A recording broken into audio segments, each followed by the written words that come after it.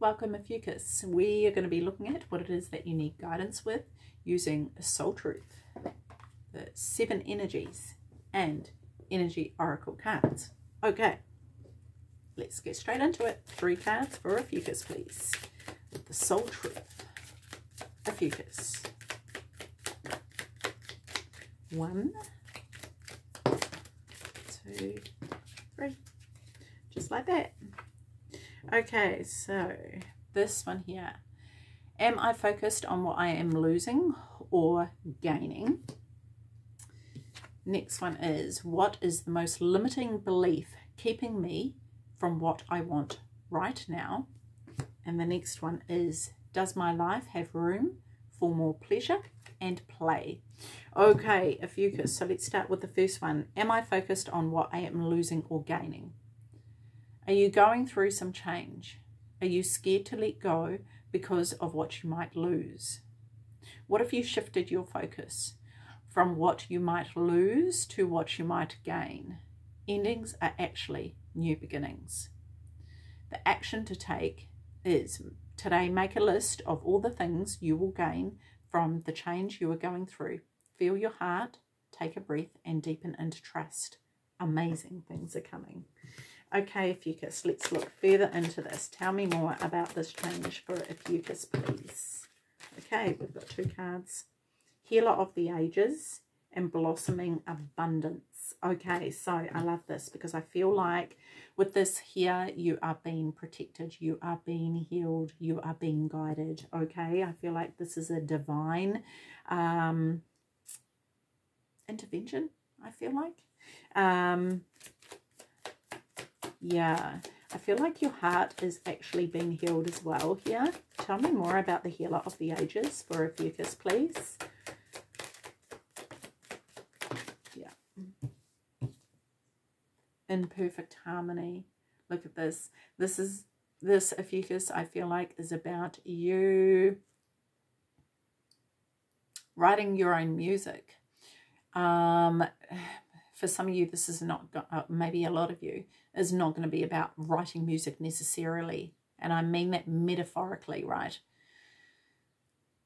About you writing your own song. You know, it's like writing a book, writing a chapter. What do you want that to look like? You know, and when, when you write a song, what do you want the lyrics to be? You know, what do you want the, the harmony to be, the tune? What notes do you want it? Do you want it to be uplifting and joyous? How do you want that to be? You know, um, so really considering this for yourself, there's definitely a really um, quite a significant spiritual transformation happening here for you, I feel. The uncharted sea. Mm. You see, here's the thing, right, with going through these changes, it's uncharted territory and it can feel very scary. But it depends on how we look at it because this boat is on the ocean. It's already traveling this journey. Okay, so it's like this change is already happening. Okay, the catalyst of the change has happened. Now it's going, sort of going with the tide to see where it carries you. Sometimes it's a matter of surrendering and letting things be. Just letting it take you to where it need you you meant to go, right? Blossoming abundance, because this is what awaits you when you get to land this is what you're going to land on, okay? Um, and I absolutely love this because it's kind of like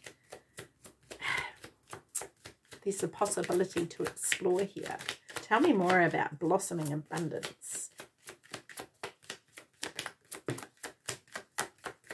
And sometimes we're in the when we're in the middle of that change, it can feel like, oh gosh, this is so uncomfortable and I don't like it and I don't want it because I'm so used to what I had and that was my comfort zone. But then we don't grow, right? We don't actually end up growing.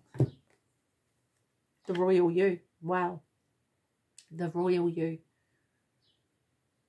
This is what you're stepping into. Great and full. Grateful, right? Grateful for you this is you stepping in and owning your crown here, Ophiuchus. Right? Taking your seat on your throne and owning it. Filling up your cup. with things that you are grateful for that will allow you to be great and full, that will fill up your life with greatness. Yes? Okay. What is the most limiting belief keeping me from what I want right now?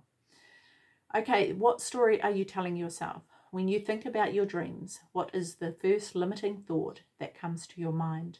If you are not living the life you desire, it is because a part of you doesn't believe it is possible.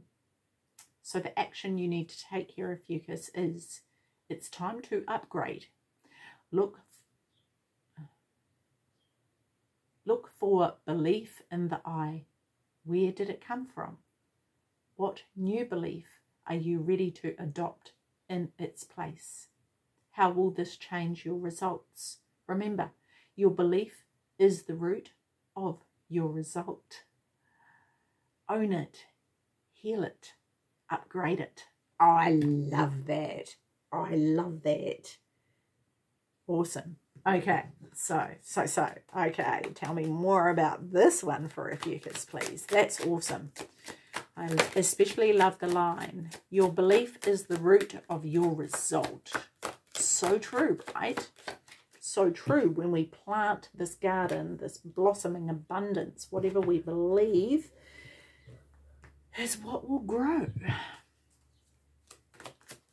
Tell me more about this for a Ophiuchus, please.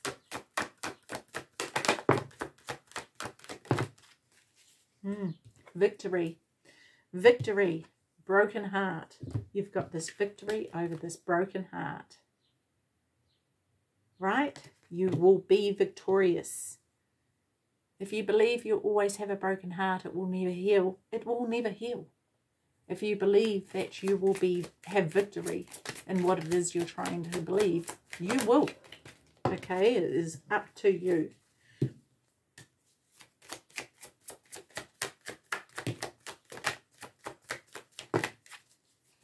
Okay, so we have ears wide open. Listen to what you're saying to yourself, right? Be very aware, very aware. Okay? Don't tell yourself porgies, right? See where it is that you want to go. Okay? Look at this beautiful rose here. The rose has thorns, right? The rose's kiss. The rose's kiss can sting. That, that butterfly has gone through the most massive transformation where it has turned to utter mush and come out again a beautiful butterfly, right? And this is the possibility for you if you haven't already, okay? So let's have a look at Broken Heart here. Nice.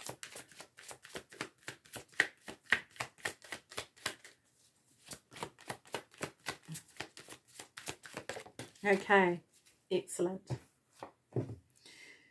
Okay, we have, where's this other one? Here. Let it go. Let it go. It's time to let it go. I'm not saying that to minimize what it is that you've been through, but it's not serving you anymore by holding on to it. It's keeping, the, the thing is that, I, and I know I've done this in my own life, by continuously going over things in your mind, you break your own heart right? And it's time to let that go. Waking the lion, okay? This lion is strong, and so are you. You have the strength to get through this, yeah? Standing in that power. Remember who you are? The royal you, right? The lion doesn't stand there and break his own heart.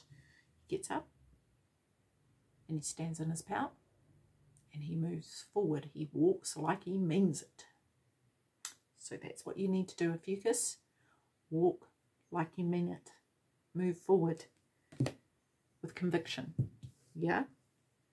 Does my life have room for more pleasure and play? In what area are you lacking pleasure right now? Maybe in certain relationships or with work. Is it possible to shift the seriousness of life to experiencing a more creative, wild, and playful side of you? Okay, the action you need to take here. What would happen if you added more play and laughter into your life? What area is lacking this right now? Take time to play. Let go of any need to produce anything. Okay, so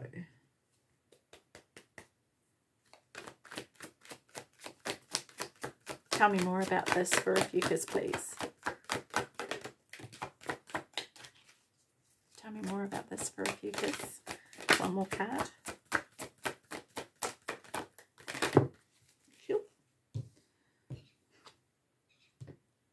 Deceit. Deceit.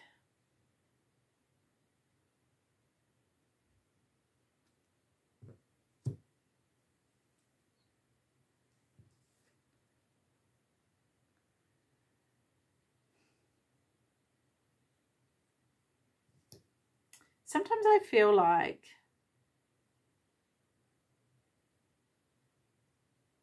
we can deceive ourselves.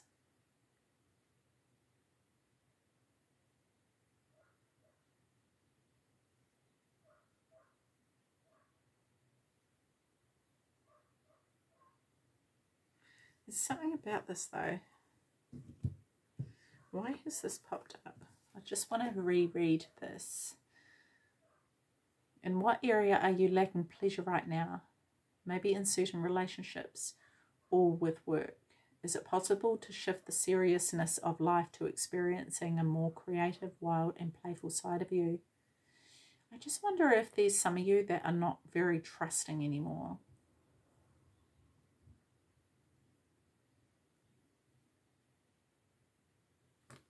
Tell me more about deceit for Ophiuchus, please.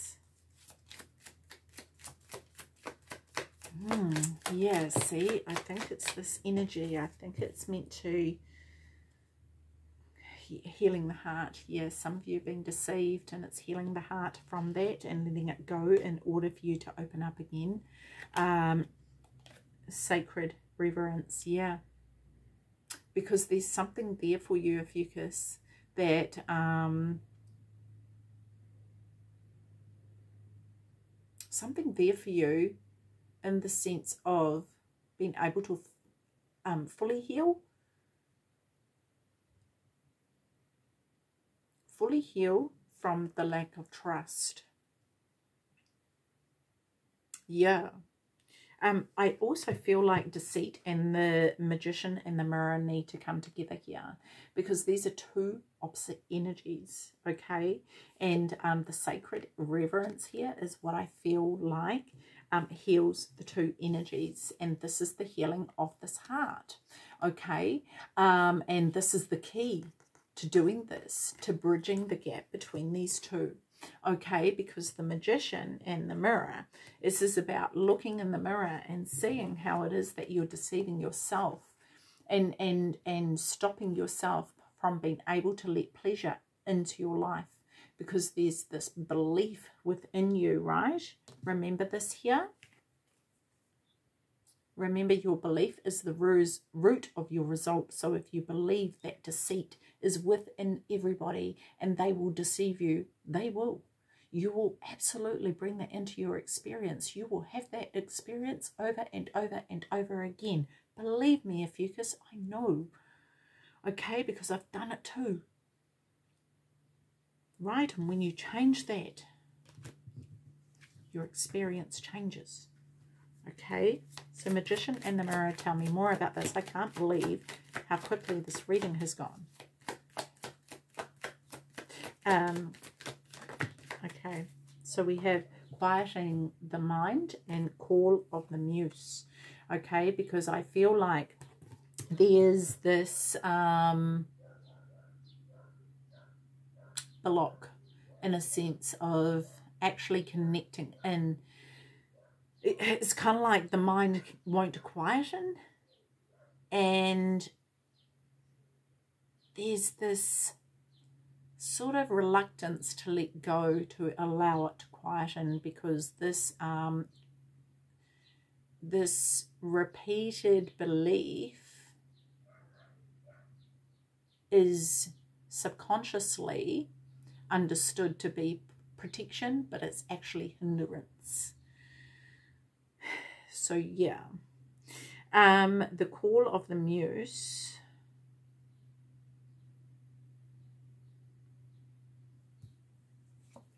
is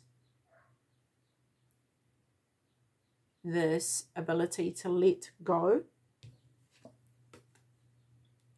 in order for you to unlock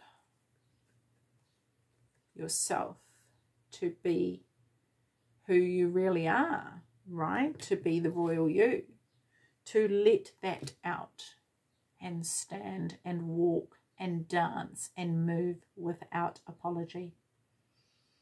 Mm, that's what that is about. Okay. So, yeah, that has gone super fast. I can't believe how quick that has gone. But anyway, I'm going to leave that with you, Ophiuchus. Take care of your beautiful self. See you. Bye-bye.